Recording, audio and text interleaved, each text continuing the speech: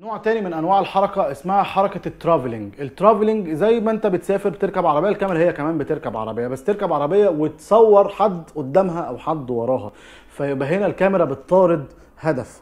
فيعني بنشوفها كتير بتبقى في عربية بتتحرك والكاميرا آه، ورا هنا وبيتحركوا أو بس خلي بالك ده هما الاثنين مش مش مش ملتزمين ببعض. يعني ممكن الكاميرا تتحرك كده وممكن ال ال الهدف بتاعها يتحرك كده والعكس ممكن يمشوا قدام بعض. تمام؟ بس في الآخر الكاميرا هنا في العربية دي بتصور العربية دي. يعني الكاميرا محطوطة في العربية دي بتصور العربية دي. طيب لما الكاميرا بقى تلف وتبقى بتصورني أنا يعني أنا أبقى سايق كده والكاميرا بتصورني أنا تمام؟ والعربية ماشية. دي مش حركة كاميرا. دي ما تعتبرش حركة كاميرا. دي مش حركة كاميرا لأن حركة الكاميرا هي اللي الكاميرا فيها بتتحرك آه، ومنفصله عن ال object اللي هي بتصوره.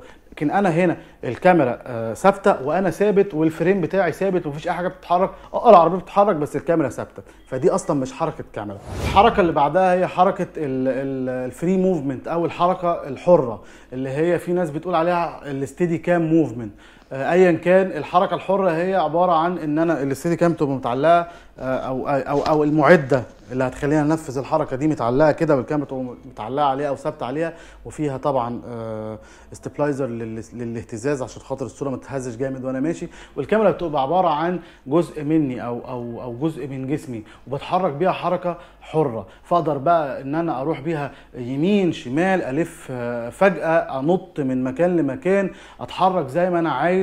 دي اسمها الحركة الحرة أو ال free movement ممكن بقى أنفذها بال steady cam بال آه، الفري فلاي بالرونين بالأوزمو بأيا كان حتى لو بإيديا.